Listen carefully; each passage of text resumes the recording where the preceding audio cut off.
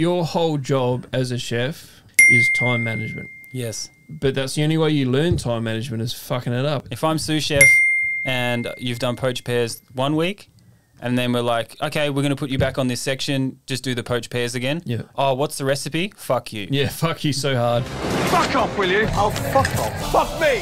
How about fuck you? Get out. Yes, yeah. Fuck off, will you?